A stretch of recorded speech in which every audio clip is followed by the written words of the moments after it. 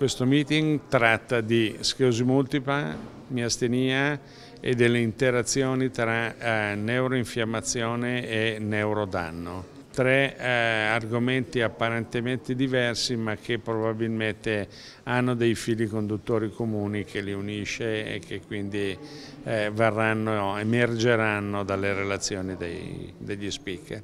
Ormai è assolutamente necessario che eh, si collabori tra eh, nazioni, tra gruppi diversi e tra discipline diverse perché eh, la tecnologia è così spinta eh, che eh, non è possibile gestire in casa, diciamo così, tutto quanto dalla A alla Z.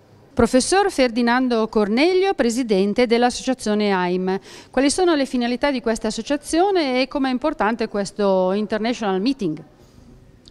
l'associazione nasce negli anni 70 come emanazione della Myasthenia Gravis Foundation americana che era nata a tutela dei pazienti, perché il guaio per i pazienti allora era che nessuno sapeva cos'era la miastenia, per cui non venivano curati adeguatamente.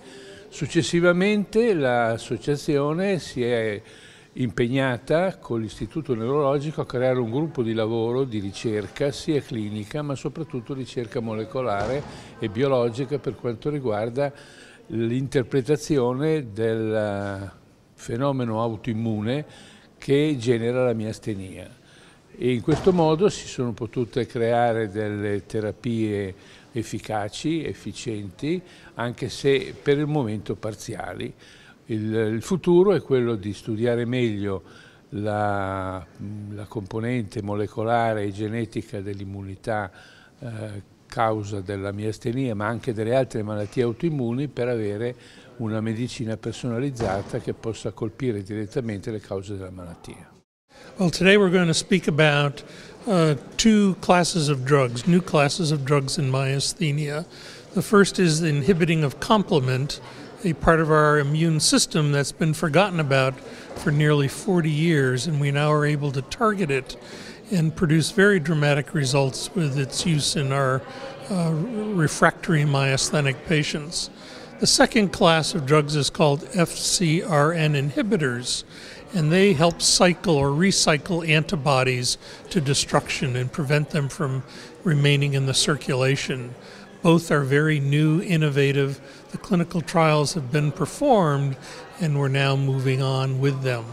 And we'll also speak about some of the newer drugs that are in preclinical uh, development as well. So, uh, we know that genetics is important in conferring risk to multiple sclerosis.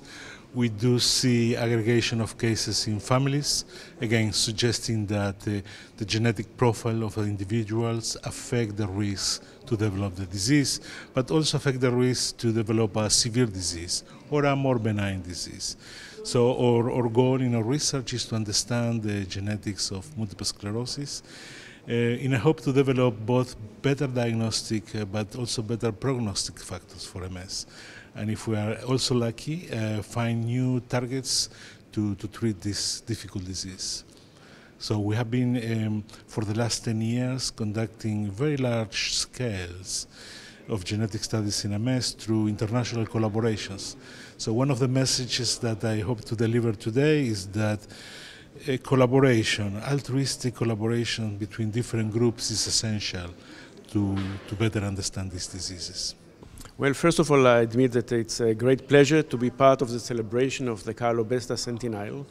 Very happy to be here, and I think it's important as part of our collaboration with the team, scientific team of the Carlo Besta. We have an ongoing project, ongoing collaboration, and I feel it's very important that we produce together international guidelines for the treatment of multiple sclerosis patients.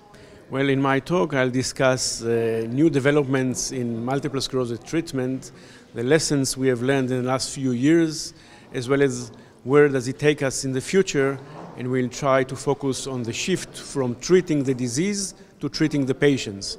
So patient-centered approach and patient empowerment. Uh, Lambert-Eaton myasthenic syndrome. Which are the information that you give into this international meeting?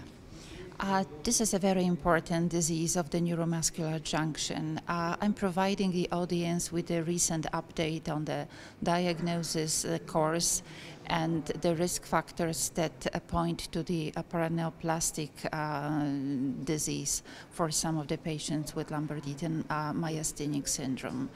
The disease is rare but seems to be under-recognized and as we have a number of options that can greatly improve the quality of life of the patients with this uh, disease. I think that the general knowledge about the symptomatology and uh, what can we do to provide the treatment for the patients is more important than ever.